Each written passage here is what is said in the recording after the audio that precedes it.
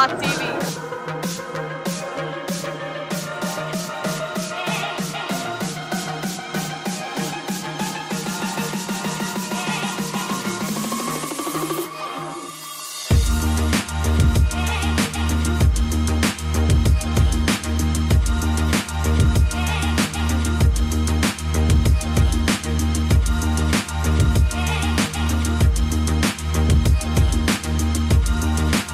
Right, welcome back to HollywoodCeleb.tv. I'm here in Croatia, and I'm one lucky man to be with Miss Croatia, who just won just recently. So let's get to know her.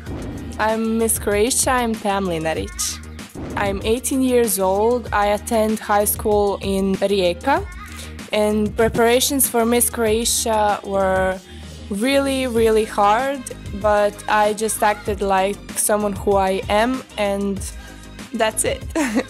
You know, so now that you won, what is your plan? What is your ambition? What do you plan on doing to prepare yourself for Miss World? Yeah, that's right. I want to be a positive role model for other women, uh, for kids and the girls that their dream is to become someone like me or someone like Miss World.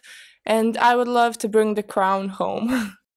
Once you do bring the crown home, and I hope you do, Miss Croatia, what is your ambition and what are you going to do to make this world a better place to live? I would like to make women and men equal, for real, equal. And I would like to empower women just as empowering they are.